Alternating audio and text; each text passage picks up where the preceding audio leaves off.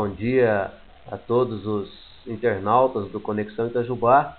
Nós estamos aqui para falar a respeito dos acidentes de trânsito que têm ocorrido na nossa região, em especial um acidente ocorrido ontem à noite, à tarde, na tarde do dia de ontem, e que envolveram cinco veículos ali próximo a Piranguim. É acidente de bastante gravidade, embora, graças a Deus, não houve vítimas fatais até o momento.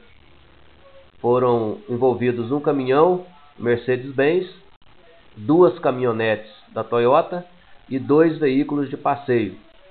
E esses acidentes, principalmente nesta época em que nós estamos no início do período das chuvas, eles se dão principalmente em função da pista molhada, onde ocorre a aquaplanagem dos veículos e da baixa visibilidade.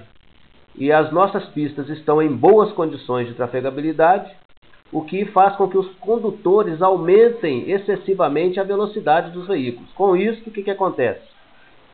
Havendo baixa visibilidade, aumento de velocidade e a pista molhada, onde ocorre a aquaplanagem na maioria das vezes, e os veículos então perdem aderência com o piso da pista, passam a trafegar na contramão de direção e com isso gera acidentes graves como nós vimos ontem, ocorreram ontem à tarde.